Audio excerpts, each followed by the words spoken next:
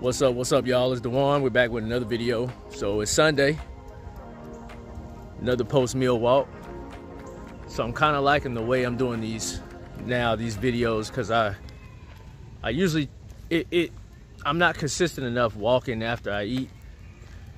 So usually it keeps me honest, right? Because I say, all right, I have to shoot a video today. I try to shoot a video every day. And it's best if I do it uh, when walking because I get to kill two birds with one stone. So I'm trying to fit it into a lifestyle. It makes it easier for me to be consistent. But anyways, guys, I want to uh, just dig a little bit deeper in what I'm seeing in this market. What I'm seeing in this market is nothing short of price suppression. And I'm gonna give you a couple reasons why I think, in my opinion, we're seeing price suppression with Bitcoin and thus the greater cryptocurrency market. Uh, one of the things that we do notice is that the government of Germany has been selling its Bitcoin holdings. I think it holds almost 5,000 Bitcoin, maybe a little less. It's been selling the past seven days to, to two weeks. And um, with no reason that was disclosed that I saw in articles or anything, but I just know it's been selling and just transferring, moving around Bitcoin. It, it, you know, and that's just not it by itself. Uh, we talk about um, the bit. We're seeing, we're seeing that uh, we're seeing a lot of things. Um, the Mount Gox, Mount Gox exchange is finally starting its payout of Bitcoin uh, to those creditors that was harmed in, in 2014 Mount Gox exchange. So all this stuff is coming about around the same time, y'all. It's like literally within the last two weeks. And I think that's quite coincidental when I, when you come to think about um, the fact that just about what last month there was less than a million Bitcoin on exchanges in total.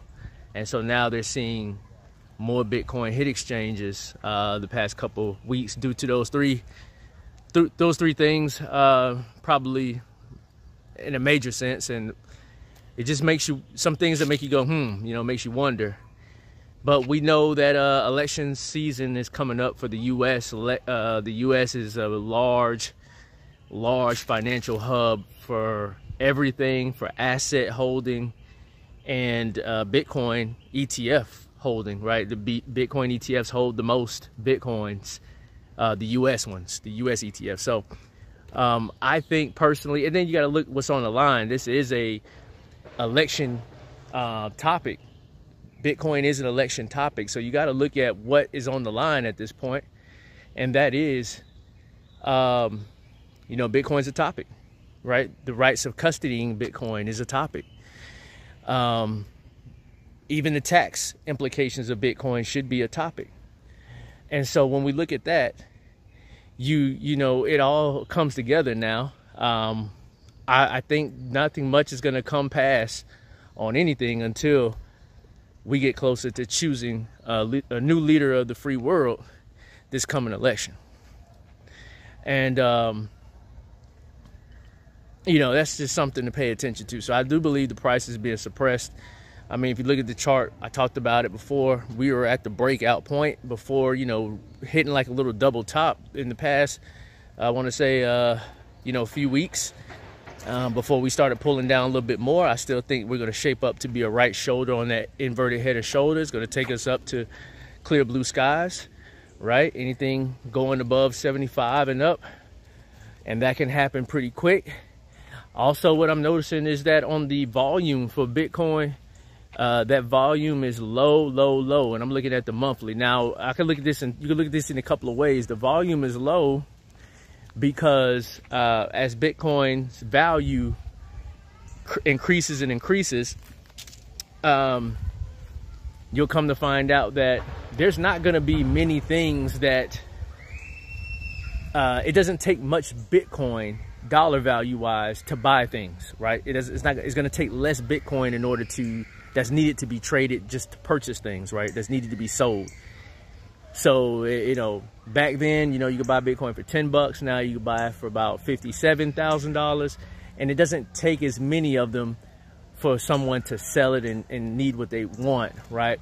So you start seeing the volume lower up. But also, I want to uh, attribute that to the fact that as the volume slows down, that just means that there's more hodlers. There's more people not willing to sell it. They're removing these Bitcoins off of exchanges. And so what that also tells is that the liquidity is lower for Bitcoin, which usually can lead up to some type of volatility to the upside or downside, but something, some very strong volatility. What I'm, I'm just painting a picture that, hey, this price suppression going on.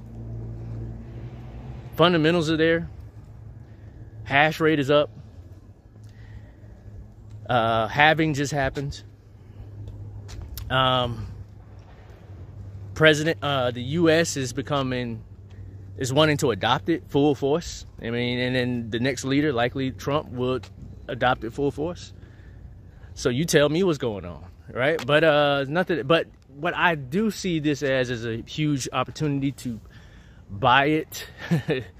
I mean, it's just a blessing. Is you know, people can always say it's a blessing, but it's just been a blessing to buy it because these are not real market headwinds, y'all. This is nothing. All right, all right, good. There's nothing really wrong with the, the asset or the market. These are just market movements. These are market events. I mean, sorry, y'all. I'm just a little distracted, but you know, you get the picture. So all I'm just bringing today is just some thoughts about what I'm seeing, the Mount Goxes, the, all this stuff, Germany. Uh, I mean, man, you even add in the fact that the U.S. Congress is um, looking to overturn this bill or looking to overturn the veto that Biden did to a bill that was presented um, to pretty much stop banks from custodying cryptocurrency.